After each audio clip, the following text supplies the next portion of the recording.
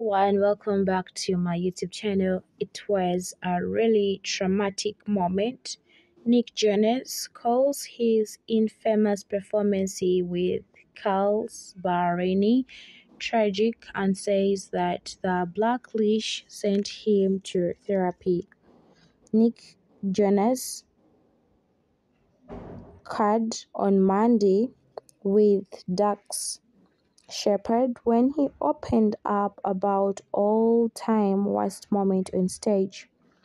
The 30-year-old musician who recently shared that he and his brother are proposing their mental health sat down with the comedian for for this podcast and revealed that a tragic performance with Ballerini sent him to therapy.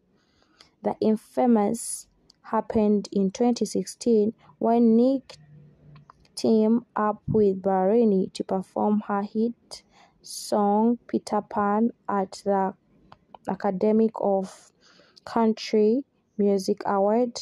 After Ballerini belted out her part of Peter Pan, Nick claimed the stage with his electric guitar and did a painful guitar solo.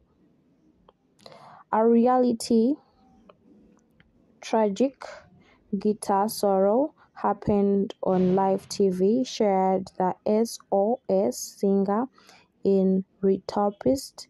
I can kind of laugh about how big I thought it was, but I did travel more than I wish could have, and I did cause me to go to therapy. Don't forget to subscribe, like, share, and also to leave a comment below. And then the Jonas brothers took Shepard through this nightmare point to point, saying that he this happened even through the rehearsal the guitar solo a million times. Nick said, I came out for my thing I rehearsed it million times. I am feeling really conf- confident about it, not even really thinking about it like it's think it's going to be trouble. I started off, it was fine. As I walked towards her, I just went completely blank and I hit a wrong note and blacked out basically and that was wrong and I couldn't stop.